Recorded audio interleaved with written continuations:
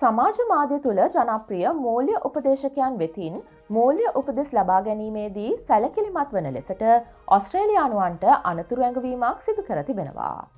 වංචනිකයන්ගේ මූල්‍ය වංචාවලට ජනතාව හමුවීමේ වැඩි ඉඩකඩක් පැවතීම හේතුවෙනුයි මෙම අනතුරු ඇඟවීම සිදු කර ඇත්තේ. සමාජ මාධ්‍ය ඔස්සේ ක්‍රියාත්මක මූල්‍ය උපදෙස් සේවා සමඟ කටයුතු කිරීමේදී ඔස්ට්‍රේලියානුවන් දහස් ගණනක් අවධානමට ලක්විය හැකි බවට දැනුම් දෙනවා. සෑම අයකුටම පහසුවෙන් ප්‍රවේශවීමට හැකිවීම ආකර්ශණීය බවකින් යුක්තවීම මෙම සමාජ මාධ්‍ය මූල්‍ය උපදෙස්වල විශෂක්තයක් වනවා.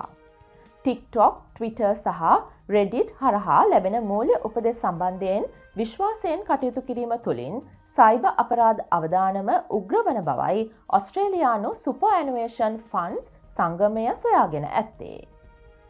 සුපඇනුවේෂන් අරමුදලේ ප්‍රධාන විදායක නිලධාරී මේරී ඩෙලා හන්ටි පැවසුවේ මෙරට බොහෝ තරුණයන් වංචනකයින්ගෙන් මූල්‍ය උපදෙස් ලබා ගන්නා බවයි.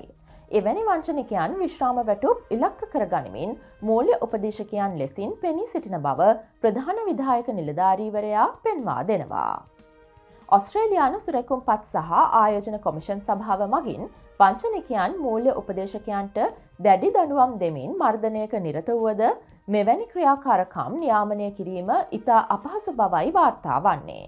සුපඇනුවේෂන් අරමුදලේ පර්ේෂණයෙන් පෙන්නුම් කරන්නේ සියලුම වයස් කාණ්ඩවල සිටින ඔස්ට්‍රේලයානුවන් වැඩි පිරිසක් සුපඇනුවේෂන් හෝ විශ්‍රාම මුදල් පිළිබඳ කිසිදු අවස්ථාවක ඒ සම්බන්ධයෙන් විශේෂඥයකුගෙන් උපදෙස් නොගන්නා බවයි.